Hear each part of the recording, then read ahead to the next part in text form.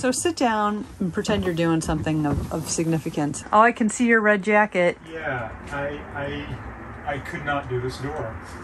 Welcome to Odometer Dave, where we help make every mile count with tips and how-tos for RVing and road tripping. Today, it's all about wet baths. We're going to look at four different wet baths in the Little Guy Max, the nuCamp Tab 400, the Intech Sol series, and that's not a wet bath in the uh, Rockwood Geo Pro. And as a bonus, we'll look at a dry bath in the Rockwood Geo Pro, which is a similar size to these trailers.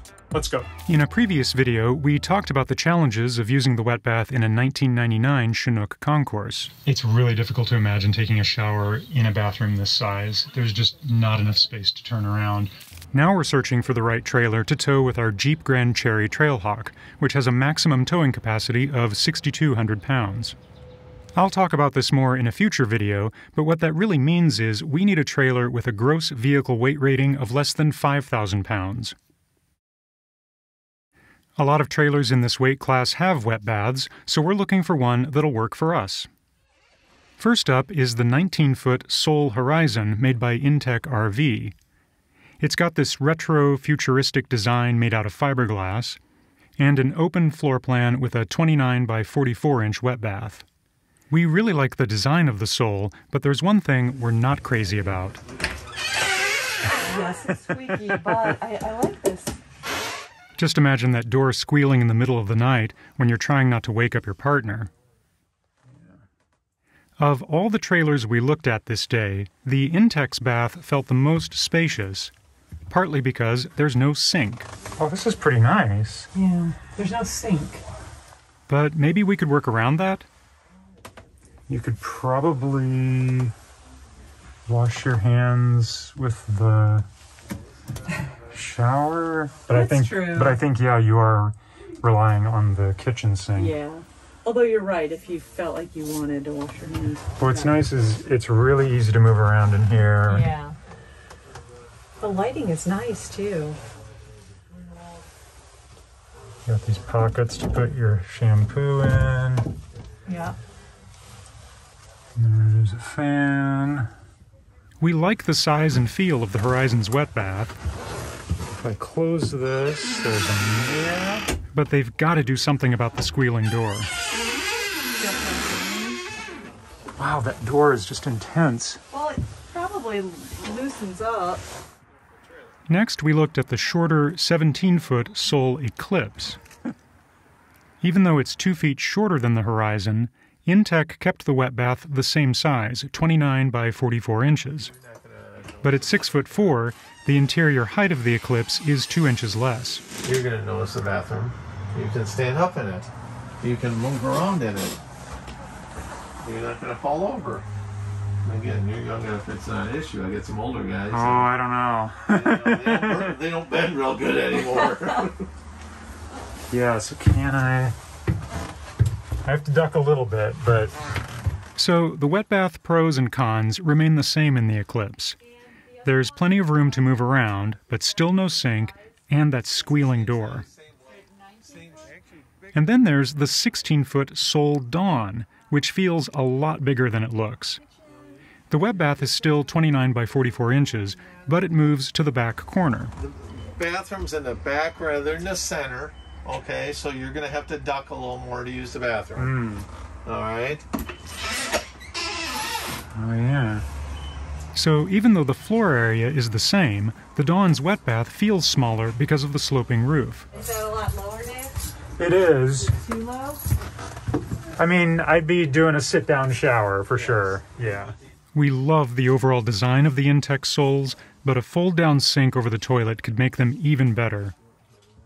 I also like that everything in these wet baths is truly designed to get wet. There's no wood to worry about. Oh man, that door. Next up is the 21 foot Little Guy Max. We love the teardrop design and the amazing amount of storage in the Max. There's just something about it. The Little Guy Max is two feet longer than the Sol, but it's also a foot and a half narrower. And at 41 and a half by 26 and a half inches, the wet bath is a bit more cramped. This is the bath, which it is so weird that there's a glass door, even though it's frosted. Well, you could do a, a contact paper that's a solid color, maybe. That can get wet? Yeah, that, they have they have that, don't they? Okay. Or a, a waterproof wallpaper. I can stand up in it almost entirely. the interior height of the Max is 6'7", but the bath is only 6'2". It's definitely livable. I'm 6'1", by the way. This is the only f- ceiling fan that's in the unit, um, which is why there's this air gap over the door. So sit down and pretend you're doing something of, of significance, and I'm gonna go over on. Uh, I'm gonna sit down here and tell me like how you feel looking up at that gap. I'm right here. I'm working. Oh, I can see your red jacket. Yeah, I I I could not do this door. I just Okay, what if the door was painted? How do you feel about that gap? um, I feel fine about the gap because this fan is always going to be on. Oh, that's true. The, the one nice thing about the the clear door is that it brings in a lot of light because there is no window in here other than the Right. I think to shower. Oh, I could stand up and shower in here.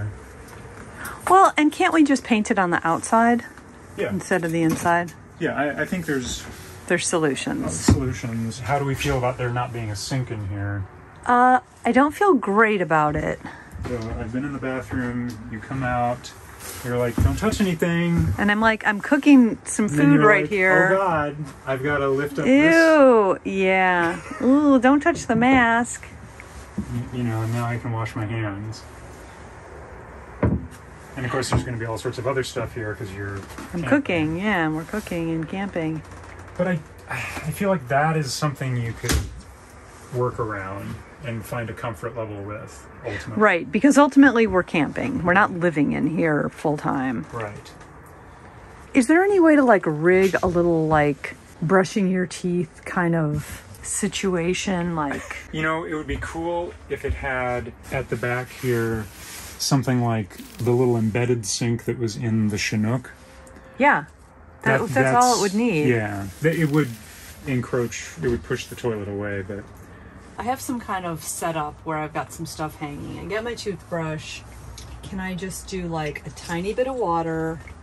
You know, brush, brush, brush. uh, Ew, spit on the floor. spit in the sink, in the toilet. spit in the t- toilet, and then kind of rinse. Again, like if you if you finessed it right, so you just had a little drizzle of water.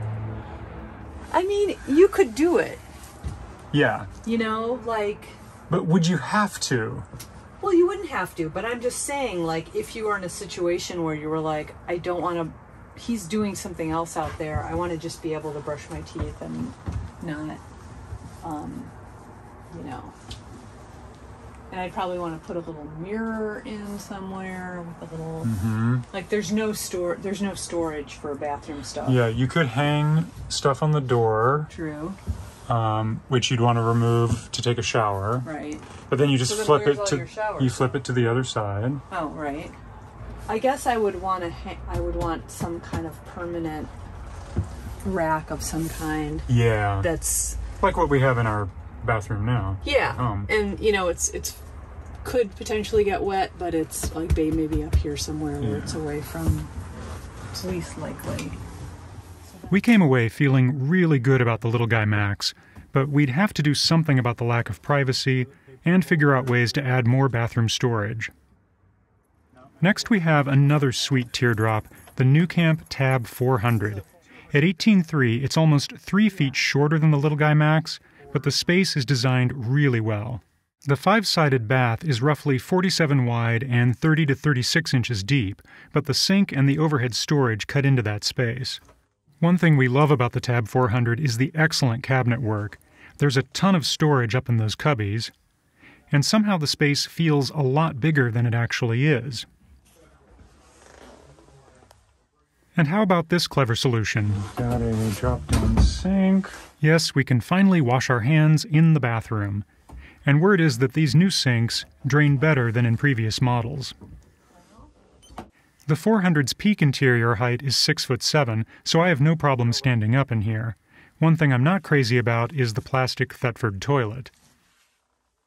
And really, this is a dry wet bath because the shower curtain keeps most of the space dry. along with any towels on those hooks. Pro tip to prevent the curtain from sticking to you, close the vent over the exhaust fan while you shower. The air will blow down and push the curtain away from you. When you're done, open the vent to exhaust to the outside. For us, the drop down sink and the built in storage really set the Tab 400 apart. And by the way, if you want more space, you can ask nuCamp to leave out the drop down sink. Finally, we've been really curious about the Rockwood Geo Pro, so we checked out this 20 foot rear dinette model. This compact floor plan allows for two full size sleeping areas, plus a decent sized dry bath complete with a small tub. The trade off is that the design and materials Wow. just aren't as nice as the other trailers we looked at. But the space and the storage is really impressive. So, yeah, this is the one dry bath. Just like this little. You could wash the dog in there. I don't know if you could even stand in there. The um I can stand in here because the um, yeah. the sunroof gives a little extra. That's not a vent. Right, the vent is over here. Right. Oh, that's interesting. This sort of fakey plastic. Yeah.